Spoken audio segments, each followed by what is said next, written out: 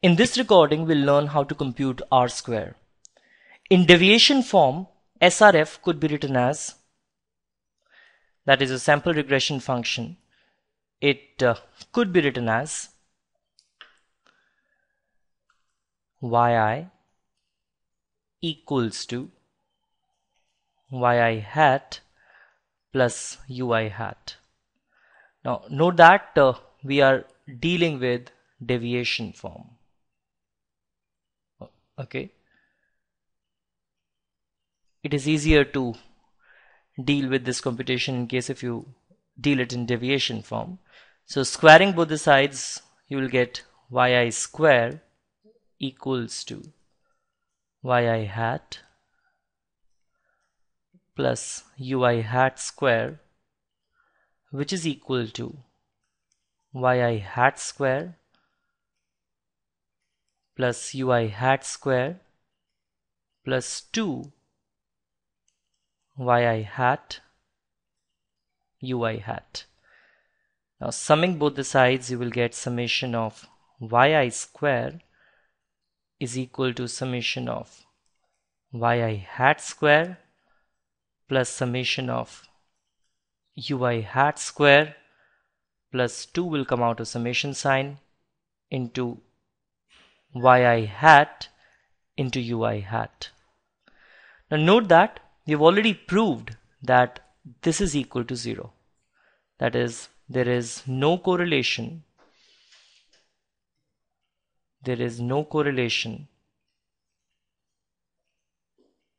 between residuals between residuals and predicted y.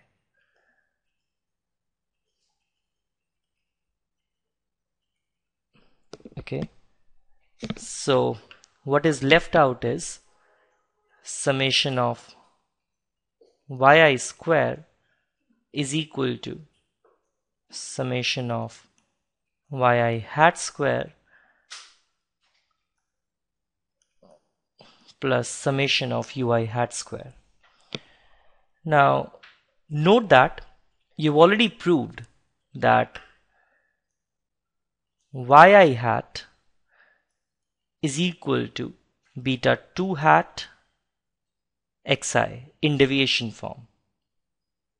Okay, so you can write yi hat square equals to beta 2 hat square xi square. So you can substitute it there in this particular equation and you will get beta 2 hat square summation xi square plus ui hat square.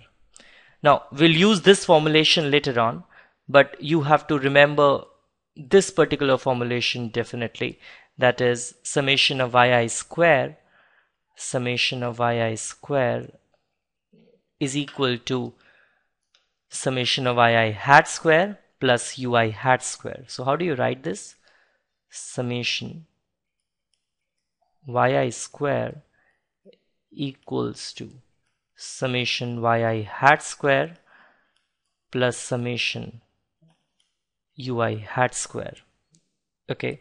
Now how do you write yi square? What is yi? yi is yi minus y bar square. Okay. What is yi hat square? yi hat square is summation yi hat sorry minus yi hat bar square plus of course ui hat is same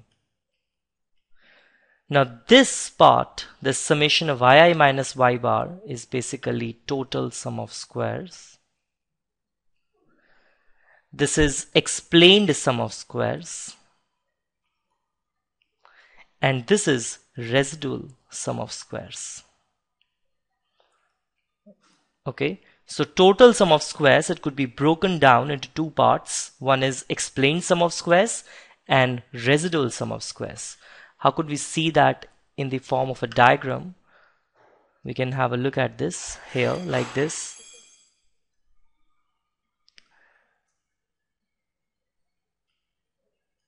Supposedly if this is your SRF this is X this is Y and uh, Y bar is sitting somewhere here this is say this point is say y bar. Okay. Now for particular xi for particular xi let me just put up this. For particular xi say for example here. Hmm. this is some xi so according to sample regression function, in case of this xi, this is not a small xi, I'm so sorry. This is big xi. Now, in case if I'm going to use this particular xi in order to predict yi hat, so I'll be able to predict yi hat here. So this is my yi hat. yi hat. Okay. So this portion this portion. This is basically yi hat which is yi hat minus yi hat bar. Getting? But supposedly if actual yi is this you have predicted yi hat as here but actual yi is this. So something which you are not able to explain that is your model is not able to explain is ui hat this portion from this to this is ui hat. And this entire portion from this yi to y bar is actually yi minus y bar. So you could see this that this total sum of squares from this portion to this portion is broken down into two parts. This portion the lower portion is your explained sum of squares while this portion is the residual sum of squares. Okay? So going further what you can write is your your you can you can actually divide both the sides by TSS huh? you can divide both the sides by TSS so what you will get is 1 is equal to ESS upon TSS plus RSS upon TSS so how could you actually write this? You can write this as summation of yi hat minus yi hat bar upon summation of yi minus y bar I'm so sorry square plus summation of ui hat square upon summation of yi minus y bar square. Now this could actually be written as r square. Okay? Plus summation of ui hat square upon summation of yi minus y bar square is equal to 1 okay? This is basically the percentage. How do you write this? This is the percentage of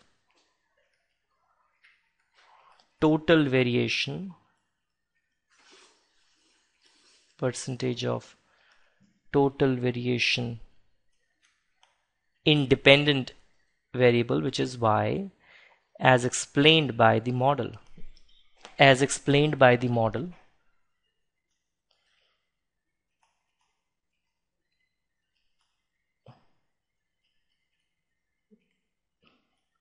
okay Say for example, if you have the model which is saying wages are the function of education, you've, you've picked up only one variable in your model. So this R square is going to explain how much of the changes, how much of the variations in wages could be explained by education. If you have education plus experience also, then, then this R square would say how much of the variation in wages would be explained by all the variables which are taken up in the model okay say for example in your model you've taken up uh, education and experience. So it will say that how much of the variation in wages could be explained by changes in could be explained by changes in uh, education and experience. We'll do the second part of this computation of R square in the next recording.